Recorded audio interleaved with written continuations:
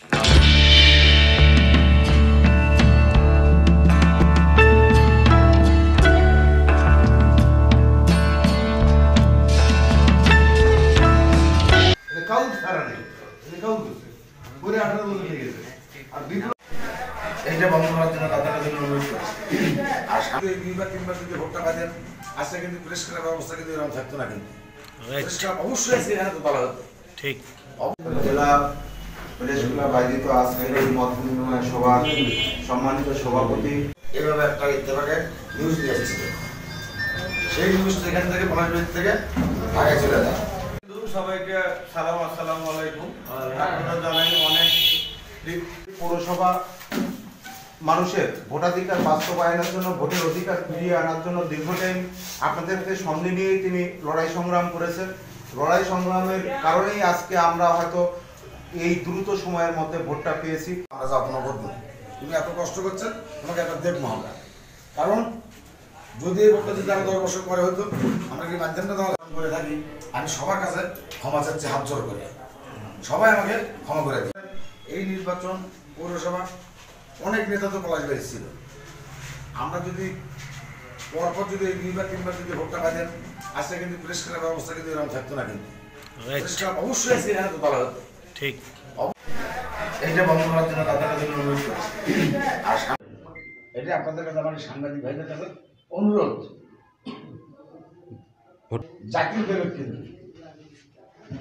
আর জাতির দেবক যখন খারাপ হয়, তখন কিন্তু কোনো কিছুই কিন্তু আর খুলে না কিন্তু। তখন কিন্তু পত্রিকা দেখে কিন্তু লোক কিন্তু লাঠি নিয়ে বেরোয় আসে। গুলি করবি না, কি করবি, সেটা কিন্তু আর তাকায় না কিন্তু পিছনের দিকে।